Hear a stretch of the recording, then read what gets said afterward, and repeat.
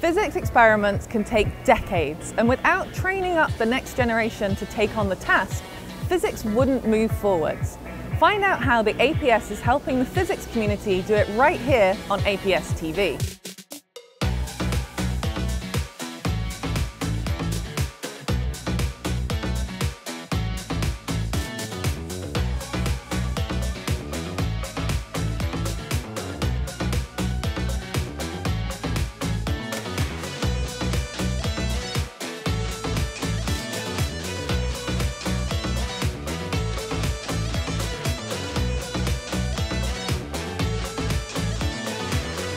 It's amazing to think that for many students, this meeting really is launching their careers as scientists.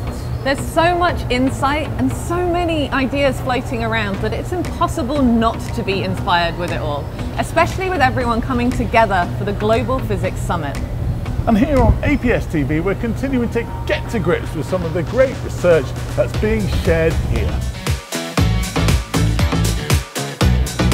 I'll sit down with one of this year's Kavli Symposium speakers to explore the cosmos. Sarah Vigeland is part of the NanoGrav collaboration using new ways to detect gravitational waves. And so we're really just at the beginning of what we can learn with gravitational waves. I think the next 10 years, the next 100 years are going to be incredibly exciting. And I'll also be looking to deep space as Joaquin Espinosa talks us through how he's able to observe dark matter subhalos through astrometric signatures. Now we have a lot of data, and I think that that's very important to test uh, our kind of machinery or mechanism. And also, it's good to constrain dark matter because the whole, whole point of this is to infer dark matter properties.